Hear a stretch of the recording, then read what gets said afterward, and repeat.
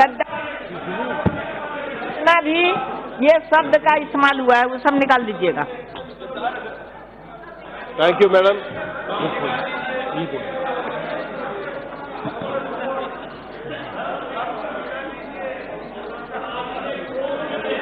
Thank you, madam, for uh, letting me talk on this motion of thanks to the president's address.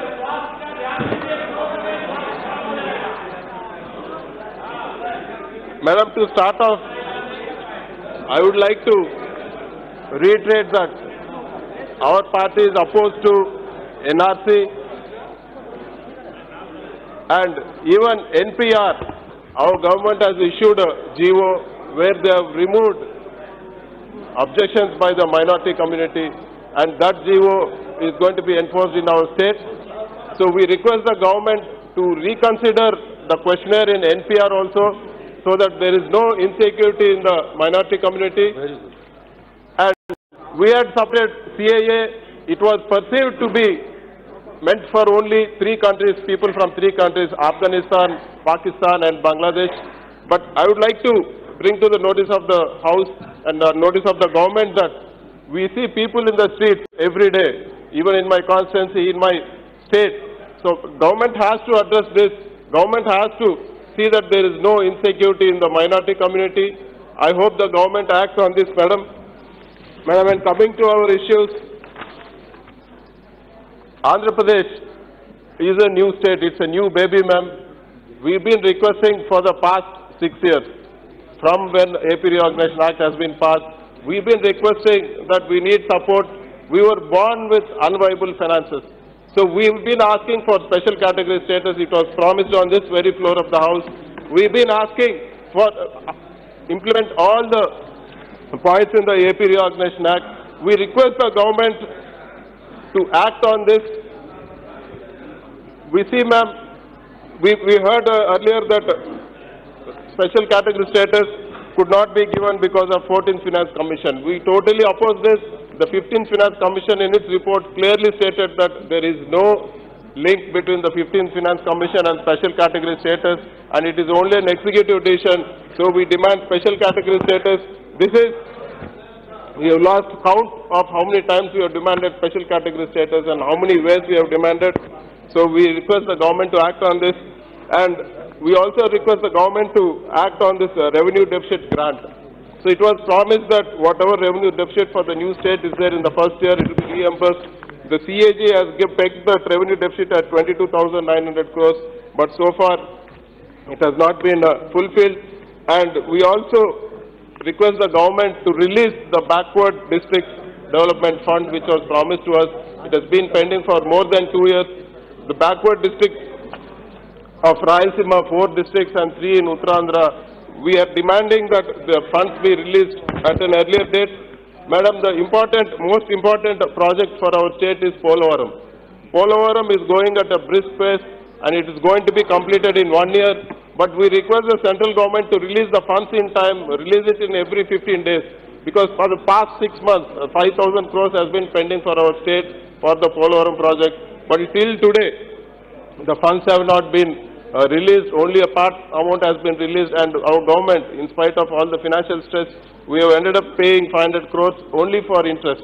So we request the government to take note of this and I, I also request the Honorable the Prime Minister to take note of this. Like we have seen like the earlier Prime Minister like Jawaharlal Nehru ji who did uh, Srisailam Dam. We want Honorable Prime Minister Narendra Modi ji to take credit for doing Polavaram in time and helping the state of, of Andhra Pradesh.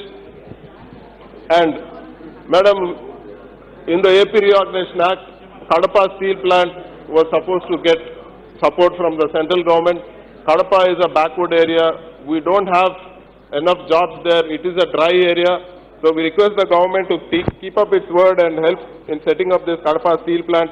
And also, a port has been promised, Ramayapatnam port has been promised, RITES has come with their techno-feasibility report where it is viable. So we request the government to come forward. Madam, you can't exclude an area or you can't exclude a state and without supporting a state, you can't dream of or you can't aspire to be a 5 trillion economy. And Madam, in the recent all-party meeting, my friends from Telugu Desam have raised two issues. One is regarding scrapping of projects and one is regarding the capital. So I would like to clear air about this, though it is a state issue, but since they have raised n number of times, they have been talking about this. So I would like the House also to understand what is happening in Andhra Pradesh. Andhra, our government is under severe financial stress. The new government which has been formed under Y.S. Jagannath Reddy, we were inherited with 40,000 crores pending bills and plus 20,000 crores additional bills which are pending in spite of the huge financial stress. So our government decided that we don't want to scrap any project, but we only wanted to renegotiate and retender the projects. Madam, I would like to recall Honorable Prime Minister's uh, words when he came to Andhra Pradesh. When he was in Andhra Pradesh, he commented on our uh, former Chief Minister saying that they have turned Polavaram project into an ATM for corruption and there was corruption in the capital. This, this is proved by the fact that there was reverse tendering in the 5,000 crore project for Polavaram and 800 crore rupees was saved in one single project, madam. Just before election, just before six months, 70,000 crore worth of projects were tendered by the former CM. And all the tenders were given at 5% excess rates. That clearly shows that it is a cartel. And now after retendering, we are saving close to 10 to 15% in each, each and every tender, madam. There's one example I would like to give in Veligonda. There's a tunnel work which happened. The same contractor who had got a work at 5% excess and the same contractor has bid after a month when we retendered, he has bid for 15% less. So where is this money going, madam? Where did this money go? And why has it not been done before is our question. And even uh, to talk about affordable housing in TIDCO, where the central government sponsors one portion and state government does one portion and the third portion is borne by the beneficiaries. So it was tendered at 2,200. Our state government for 7 lakh units, they have retendered it and now today we are saving 400 rupees per SFT. That means each household, all the 7 lakh households are getting a saving of 1 lakh per household. That is substantial for the poor people, madam. This is what our CM is trying to do. He is taking everything in a transparent way and he, in fact, is the first state in India to put a judicial commission to vet all tenders.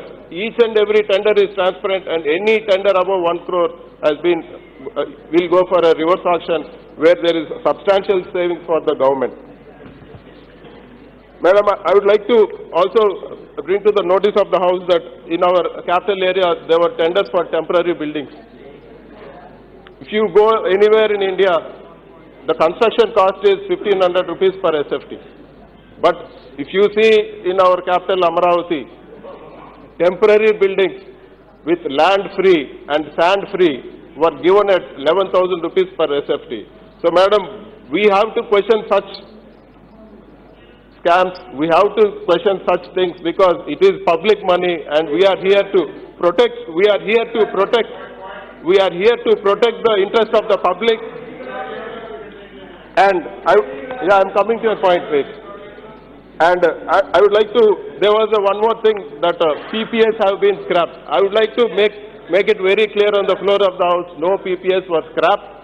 Only PPAs, only some PPAs, like 41 PPAs, which Mr. uh, the former uh, Chief Minister Chandrababu Naidu concluded agreements just before the elections at 4 rupee 83 paise. 41 PPAs were done, ma'am. When the same time, the same corresponding time in the neighboring state, the unit for power was only 3 rupees and it was below 3 rupees also. So where is 4 rupee 83 paise and where is 3 rupees and below 3 rupees, madam? This we have questioned and now it is in the purview of judiciary. Whatever decision comes, we are, we are going to respect that and even now, all the PPAs, we are, we are taking power from them, but we are awaiting the decision of the court and we will adhere to that. No PPAs have been scrapped. And to add to this, in renewable energy, madam, I would like to bring it to the notice of the House. I am proud to say that under our new Chief Minister, Government of Singapore and Abu Dhabi Investment Authority, they have come forward to put the world's biggest integrated renewable energy project in Andhra Pradesh. It is worth 25,000 crores and the government is, government of Singapore is happy to invest in that, and very soon, are, our chief minister is going to inaugurate that project. Such is the development, and such is the thing we, our PM is focusing at. So we, uh, basically, I know, madam, this is a state subject, but since there were allegations made in the all-party meet, we have to make clear, things clear here. And about talking about our capital, madam. I, I would like to bring it to notice that Amaravati was declared a capital. But before that, as a chief minister, Mr. Chandrababu Naidu said that close to Vijayawada there is a place called Tiruvuru. He said the capital is going to come up at Tiruvuru officially as a chief minister. And then, in three months' time, he made his people, he made his people buy in a place called Amaravati between Guntur and Vijayawada. They bought so much land, and now a preliminary investigation is showing that 4,000 acres plus has been bought by Telugudesam leaders in that area, madam. Madam, as a CM, if he is fooling the people saying that capital is coming at Tiruvuru, and then after buying land and making a big scam, it's a breach of oath, and then he says, no, no, the Tiruvuru is not the capital, the capital is going to come up in Amravati. This is, this is a big scam, and now a preliminary investigation shows that 4,000 plus acres have been identified with Telugudesam people. And very important fact, the whole house should take cognizance. 780 people below poverty line have spent crores of rupees buying land. How can a person below poverty line put crores of rupees? They don't have even income tax assessment. Now, ED, I mean, today I read in the news, madam, it's a welcome move that ED, ED has come into place. CID has reported to ED, 780 people have been identified where false, uh, with false certificate and money swindled from the people. They have bought lands there. Madam, we also demand a CBI inquiry from the government so that these camps be bought out. And one thing I would like to uh, come out, ma'am. Earlier, before the election, our uh, former uh, chief minister went throughout the country saying that we will finish off uh, Modi ji, we will finish off BJP. But today, madam, earlier he said that uh, uh, we don't mind which party he supports. Earlier he said we'll make uh, Rahul Gandhi ji as a prime minister. But today, there is a request in the, there was a request earlier in the speaker's office that they don't even want to sit with the Congress, madam. They they are sitting behind us. This is the thing. Please, I, I request the House to take note of, I request the House to take note of uh, Telugudesam party.